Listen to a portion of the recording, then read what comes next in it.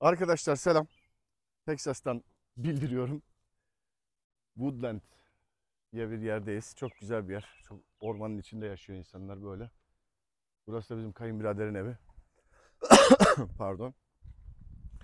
Harika bir yer. Posta kutuları. Evimiz. Şöyle göstereceğim.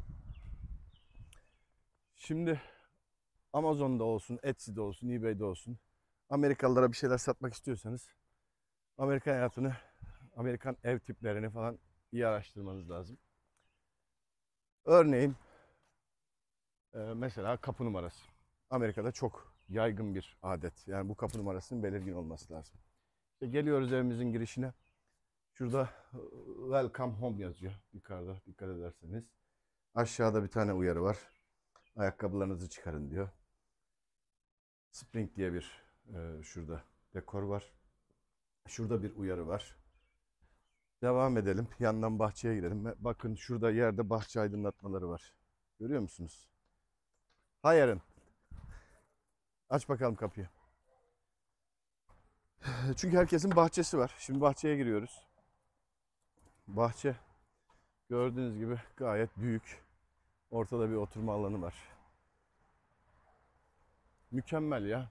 Yani burada iki tane çalışan kendi işini yapmıyorlar. Ee, bir yerlerde çalışıyorlar. Kişinin kurabildiği bir hayat. Böyle arkada devasa bir bahçe. Ormanın içinde.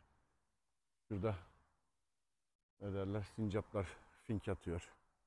İşte mangalınızı yakıyorsunuz. Ne bileyim. Bunlara bakın işte bu aydınlatmalar çok popülerdi. Çinliler satıyordu. İşte mangalla ilgili ekipmanlar. Aydınlatmayla ilgili ekipmanlar. İşte giriş dekorları, kapı numarası, eee, aile adı, wood sign diye geçiyor. Mesela biz de yapmayı düşündüğümüz ürünlerden biri. Hepsi yapılabilir. Gördüğünüz gibi.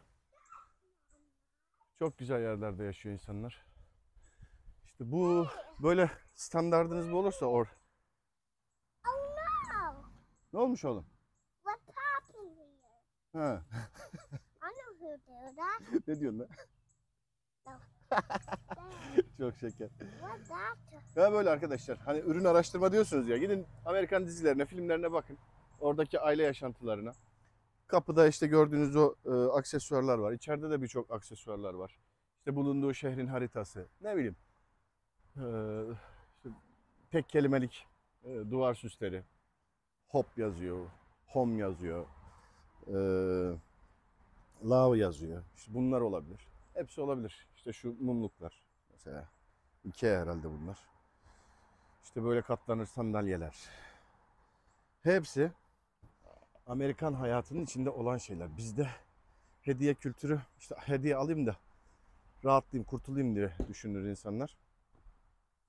Ee, Amerika'da ise buna kıymet veriyorlar. Bunun yanında bir kart kart veriyorlar. Ondan sonra bunu inceleyerek bulmak en garantisi. Tabii pazara da bakın, Etsy'ye de bakın ama hani buradan siz de ben ne yaparım, Amerikalılara ne satarım derseniz böyle araştırmalar da yapabilirsiniz. Görüşmek üzere. Salı günü Türkiye'deyim.